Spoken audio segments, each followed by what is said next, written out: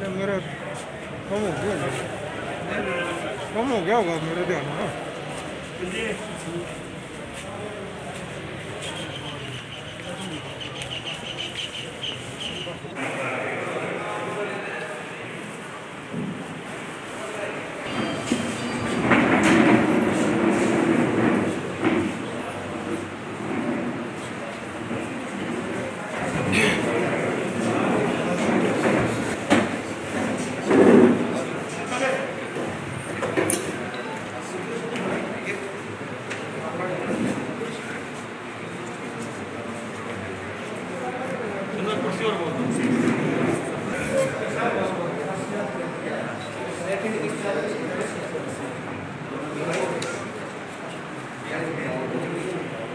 एक सपना था कि सभी ऐसे लोग जिनके पास अपना घर नहीं है, उनको अपना घर मुहैया कराया जाए और उनके लिए वो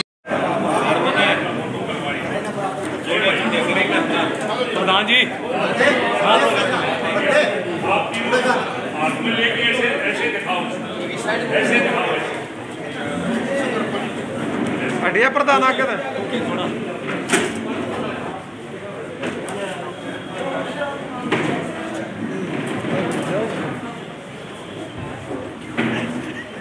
का चेहरा कर लिया थोड़ा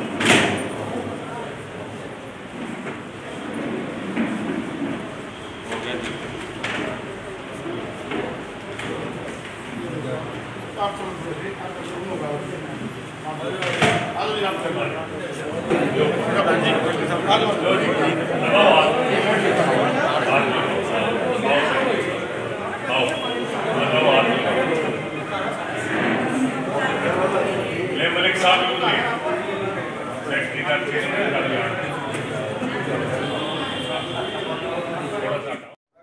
आज भारतीय जनता पार्टी का स्थापना दिवस। दीनदयाल उपाध्याय जी, श्यामा प्रसाद मुखर्जी की विचारधारा और सोच के तहत ये पार्टी बनी। विचारधारा को लेके अंत तो उदय। अंतिम आदमी, आखिरी आदमी, जो सबसे गरीब आदमी है, उसका उदय। इस विचारधारा को लेके पार्टी बनी और उसी विचारधारा को फलीभूत करने के लिए नरेंद्र भाई मोदी ने और मनोहर लाल जी ने, हरियाणा सरकार और केंद्र की सरकार ने बीड़ा उठा लिया। और यह संकल्प लिया कि 2022 तक हर गरीब आदमी को जिसके पास मकान नहीं है, उसको मकान मिलेगा।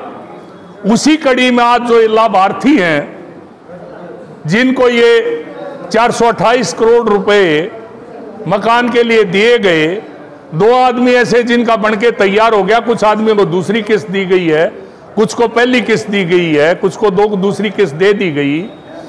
और इसी तरह से, इसी कड़ी में इसी विचारधारा के तहत हर गरीब आदमी को सिलेंडर दिया गया। मुफ़्त मोदी जी के द्वारा आठ करोड़ से ज़्यादा सिलेंडर बांटे गए। अभी भी सिलसिला जारी है बांटने का। इसी तरह से हरियाणा प्रदेश के हर घर में शौचालय हो। मनोहर लाल जी के नेतृत्व में हर घर में शौचालय बना। हर गरीब आदमी को शौचालय उपलब्ध करवाया गया। और मैम शहर का जहाँ तक ताल्लुक है, यह सब बिरादरियों की धर्मशालाएँ कम्युनिटी सेंटर सब में करोड़ों रुपए का काम चल रहा है। यहाँ जो है, मैं मैं अपना कहने के लिए म्यूनिसिपल कमेटी के पास कार्यालय नहीं था। यह हरियाणा सरकार और मनोहर लाल जी की देन है आज बहुत ही बढ़िया चंडीगढ़ सेक्रेटरिएट से भी सुंदर दफ्तर बना। सामने अठारह सौ इक्यासी का बना हुआ हॉस्पिटल था पशुओं का। यहाँ से पशु इन्फेक्शन लेके जाते थे। आज जो है वो बन के नया तैयार हुआ। उसमें छह छह फुट की भर्ती की गई। उससे पीछे जो म्यूनिसिपल कमेटी का दफ्तर है, वहाँ जो है सफ़ाई कर्मचारियों के लिए और ऊपर लाइब्रेरी और नीचे जो है खुलापन, एक इस तरह का नक्शा भी प्रपोजल भी तैयार हो रही है। चबूतरा बना, चौराहे बने। यहाँ जो है शौचालय नाम की चीज़ नहीं थी। एक भी शौचालय नहीं था पब्लिक टॉयलेट नहीं था। मैम, में, और आज चारों तरफ़ पब्लिक टॉयलेट है, सफ़ाई है। लाइट जब हम इस सरकार में आए 2014 में, मैम शहर पूरी तरह से ब्लैक आउट था। भूपेंद्र हुड्डा और आनंद सिंह दांगी की 10 साल की सरकार में, हमने आके लाइटें खरीदी, जो कनेक्शन कट हो गया था, बिजली का बिल नहीं भर पा रहे थे, वो भरवाया। आज जो है सारा शहर लाइट से चारों तरफ़ जगमग है। विकास की कितनी योजनाएँ? गाँव में।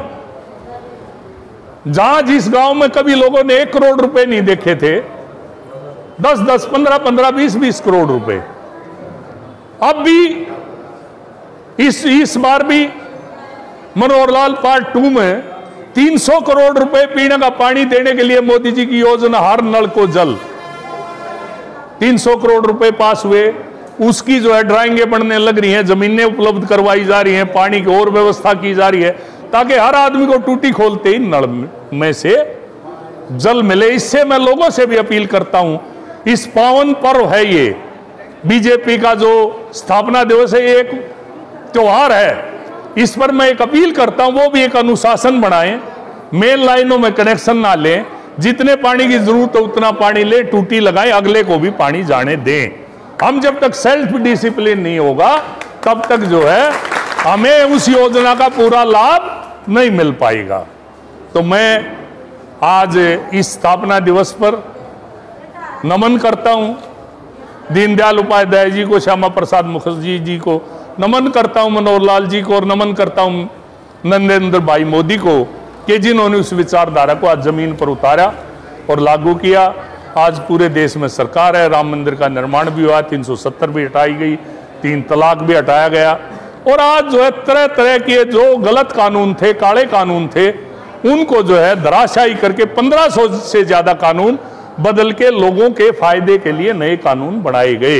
ये मोदी जी की सरकार की, मनोहर लाल जी की सरकार की खूबसूरती है। आज इसी के तहत इस प्रोग्राम का आयोजन किया गया। है, मेरी ड्यूटी आसाम में थी। आसाम में मैं 18 दिन रहा हूँ। मैं दावे के साथ निश्चित रूप से कह सकता हूँ कि भारतीय जनता पार्टी दोबारा सरकार बनाने जा रही है। आठ नॉर्थ ईस्ट के राज्य हैं, जिनमें चार में बीजेपी की सरकार है और चार में बीजेपी का साझा है। 126 सीट है। आसाम में पूर्ण बहुमत से दोबारा सरकार बनाने जा रही है। क्यों? क्योंकि लोगों के लिए सरकार बनी थी, लोगों का काम किया, इसलिए लोग दोबारा सरकार बनाने जा रहे हैं। पश्चिमी बंगाल में जहाँ हमारे पिछले चुनाव में तीन सीटें थी, इस बार हम सरकार बनाने जा रहे हैं। आज पूरे देश में कांग्रेस मुक्त भारत का जो सपना देखा था, वो सपना साकार होने जा रहा है। आज राहुल गांधी, सोनिया गांधी वहाँ मैंने आसाम में देखा, वो बेचारे फिर रहे हैं, उनको कोई जनसभा करवाने वाला नहीं।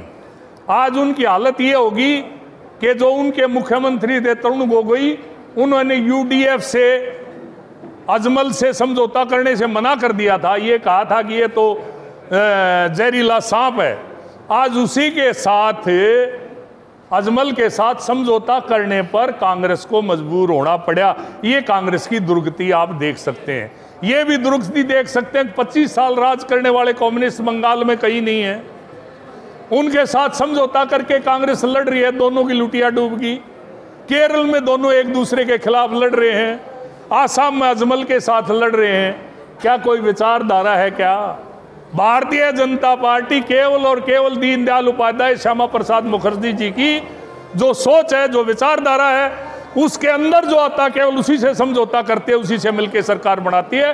कभी चुनावी लाभ के लिए मौका परस्त समझौता भारतीय जनता पार्टी ने ना किया है, ना करेगी, और इसीलिए आज पूरे देश में भारतीय जनता पार्टी